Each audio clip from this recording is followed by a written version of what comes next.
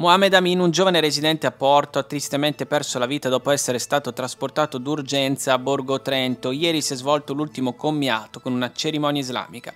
Una profonda tristezza ha pervaso le scuole medie, Cavalcaselle e l'intero quartiere di Porto di Legnago a causa dell'improvvisa scomparsa di questo studente di soli 14 anni.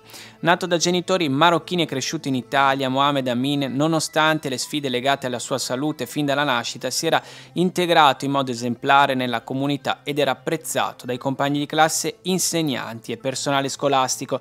Il giovane 14enne, che aveva quattro fratelli, è deceduto poco dopo le 23 del 1 febbraio scorso presso l'ospedale di Borgo Trento. Era stato trasferito d'urgenza con l'eli soccorso di Verona, emergenza a seguito di un improvviso malore. Un amico della famiglia ha raccontato che Mohamed si era sentito male a casa, ha avuto una crisi respiratoria seguita poi a un arresto cardiaco e nonostante gli sforzi dei soccorritori, purtroppo per lui non c'è stato nulla da fare.